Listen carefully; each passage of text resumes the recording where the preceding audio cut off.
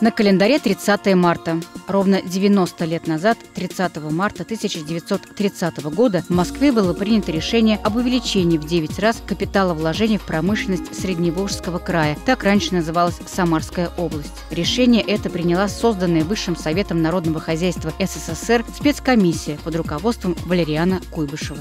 Зимой 1943 года полным разгромом крупной стратегической немецкой группировки завершилась Сталинградская битва. Восстановление разрушенного города шло в условиях продолжающейся войны. Было необходимо в максимально короткий срок вернуть к жизни сталинградские предприятия. 30 марта 1943 года из Куйбышева, так тогда называлась Самара, в Сталинград отправился первый эшелон. Он вез строительные материалы и оборудование для больниц, заводов и магазинов. Позже в разрушенный город потянулись эшелоны с продовольствием, одеждой и книгами.